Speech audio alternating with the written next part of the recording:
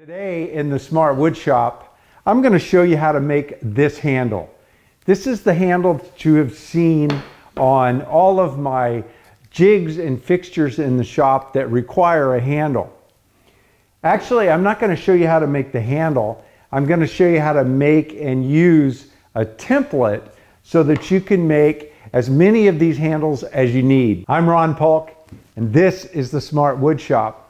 If you want to get a detailed set of plans to build a smart wood shop for yourself or one of my smart workbenches, you can click on the link in the description of this video down below where you can purchase a set of plans and download them instantaneously 24-7, 365. I already have this template that I made and I've made quite a few handles with it and it works pretty good, but I have come up with an idea that I think will improve it. So I thought in today's video I'd go ahead and make that with you. 12 millimeter thick plywood, 190 millimeters wide, 400 millimeters long. I'm also going to use a piece of three quarter that I'm going to put on this when we're getting close to the end. But to start with, I want to make the shape of this template on the end here. Two square lines. I'm going to make one down from the top 105 millimeters, 150 millimeters from this edge to the line. So again, I've got a line 105 down and a line 150 millimeters from the edge. I want to make two pilot holes. These pilot holes are going to be the location of the tip of this inch and a half or 40 millimeter bit, which will create the both ends of the handhold of the handle. The first pilot hole closest to the edge, I'm going to make it 75 millimeters down and 38 millimeters in from the edge. Take my scratch awl and make a nice location point or pilot hole. The second hole, the one that's going to be closer to the top, because this handle or the grab section is at an angle for a good ergonomic grip. That pilot hole is going to be 45 millimeters down from the top and 88 millimeters in from the edge. But a nice pilot hole in there. So figuring out angles and where exactly to cut that, don't need to bother with it. Once we have these pilot holes, we've got the exact location, angle, everything we need to do the grab section of the handle. To figure out the main curve and then the reverse curve, rather than using a compass and any kind of math to figure it out, I'm just going to use this uh, two and a half quart bucket I have. The diameter on it is exactly the same as a one gallon paint can, which is what I used to make the original handle. And the measurement on that is about, oh, six and five eighths or about uh, 68 millimeters. It's not that critical. This is a little bit visual. Obviously, it, it, works really well. It's got the shape I want.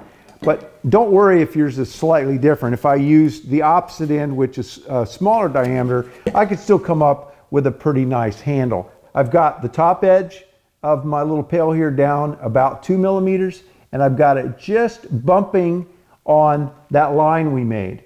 And now I'm going to take a pencil and I'm going to trace that. I'll just trace it beyond what I actually need.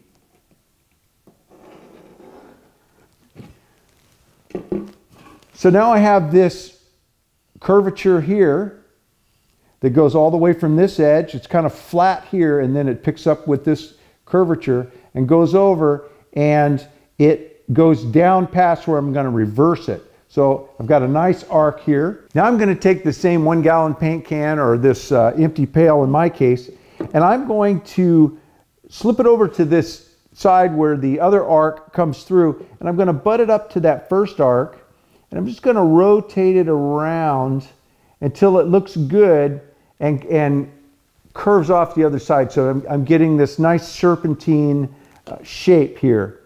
I'm actually not going down to the tip of this line. I'm leaving eight millimeters up from that, from this lower line. Main thing is I want this nice shape to follow through. I don't want it to step or anything. So I've got that, I've rotated it around, and now I'm gonna make I'm going to trace through the previous arc and reverse it.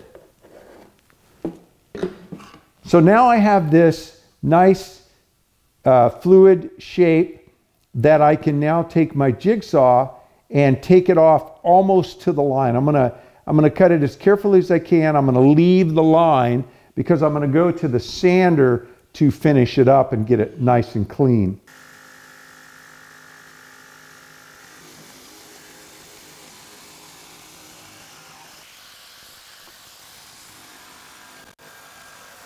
Next, I'll drill the 40 millimeter or half inch holes.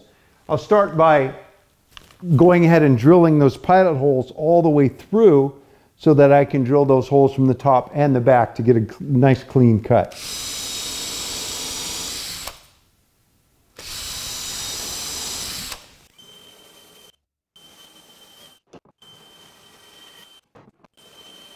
Next I'll take a straight edge and I'm going to just go to the cutouts here and I'm going to connect the dots basically top and bottom so that I can cut those out with my jigsaw as well.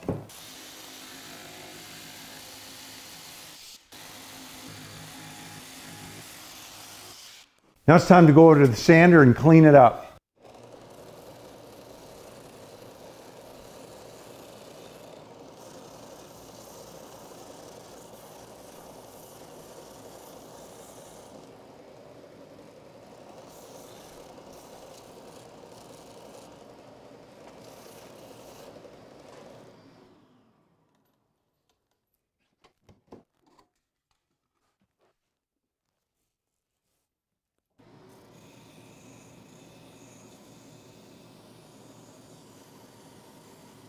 With the template all cut out and sanded, ready to go.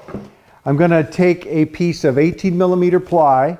It's 190 millimeters wide. It matches the width of the template and uh, 195 millimeters long. What I'm going to do is attach it to this template right to that line that we made that was 105 millimeters down from the top. This is going to be to butt the material up against. So I'm going to go ahead and line it up with that and put some glue on it and a few pin nails to hold it in place. It's a per permanent part of the jig that we're making.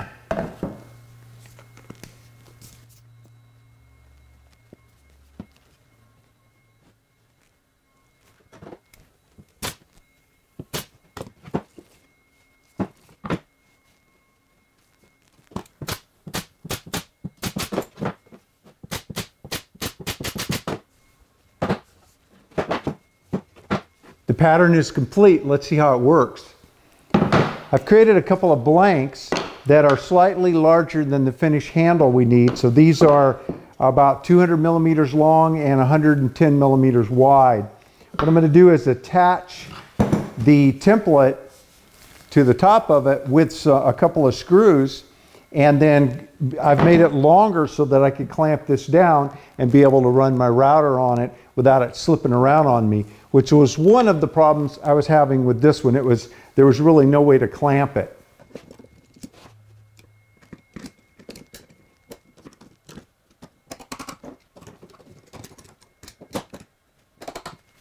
To cut the handle out, I'm going to use my DeWalt battery operated router. It's a plunge router so I can make multiple passes and keep uh, lowering it down. I don't want to make this cut all at once. Because it's limited to a quarter inch uh, for this particular router, I'm using a quarter inch uh, upcut spiral bit. And again, I'm gonna creep into it, make at least three, maybe four, even five passes.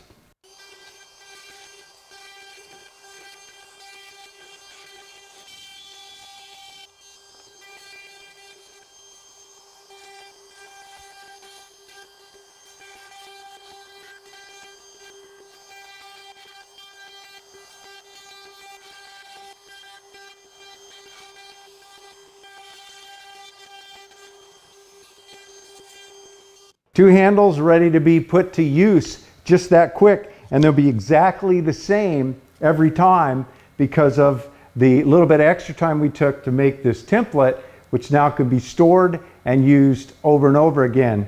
I am a really big fan of pattern routing.